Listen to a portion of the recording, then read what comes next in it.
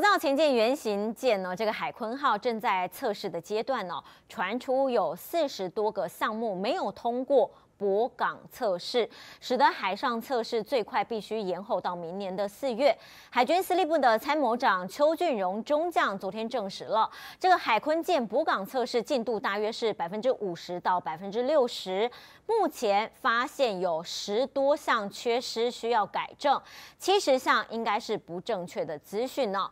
好，另外来关注的是中国大陆前海军潜艇艇长，他的名字叫做阮方勇，他在今年六月的时候从从福建驾驶快艇横渡了台湾海峡，直奔了淡水河，在渡船头的码头上岸，被依照未经许可入国罪起诉了。士林地方法院在十号进行了言辞辩论。那么阮方勇他重申哦，来台湾就是要投奔自由，他也知道台湾的法律呢没有政治庇护，想要留下来有困难。不过他坚称他相信民主自由的世界一定容得下他。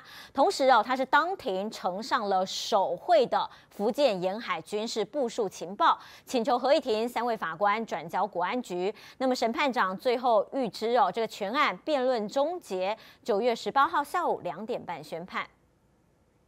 好，说到政治庇护呢，日前中国大陆的作家邓廷丽，他来台湾寻求政治庇护失败了，便。被这个当场遣送出境，引发争议哦。那最近呢，有这个立委办公室接获了陈情呢，指出了内政部事后竟然要求机场公务人员，只要旅客喊出政治庇护，就要立刻受理，而且不得告知当事人，这个台湾没有所谓的难民法，也不得安排离境。这一点让基层公务人员叫苦连天。无无法可依的这个状况之下，滞留机场恐怕会成为国安漏洞。出了问题，谁要负责呢？